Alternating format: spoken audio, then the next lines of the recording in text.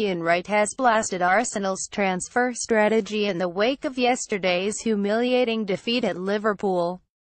Getty Arsenal legend Ian Wright blasted Dick Law and Ivan Gazidis. The Gunners were easily dispatched by Jurgen Klopp's side at Anfield in a crushing 40 defeat.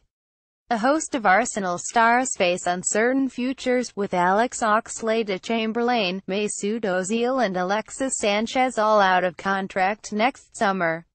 And Wright laid the blame at the door of senior figures at the club for the heavy loss at Anfield. I have to blame Dick Law transfer negotiator, and chief executive Ivan Gazidis for his silence, he said on Radio 5 Live. We're not hearing enough from those people.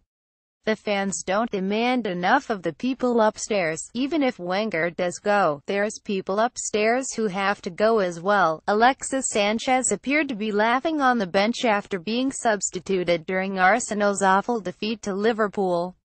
Getty was Alexis Sanchez laughing after being substituted against Liverpool Dick Law and Ivan Gazidis are spineless people Arsenal legend Ian Wright Dick Law and Ivan Gazidis are spineless people. Wright thinks Arsenal should sell Sanchez, despite him being the club's best player. He doesn't want to be there, he added. We could see that against Liverpool, he doesn't want to stay.